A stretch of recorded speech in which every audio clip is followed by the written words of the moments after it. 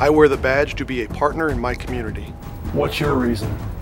Join the Pima County Sheriff's Department family and find your reason.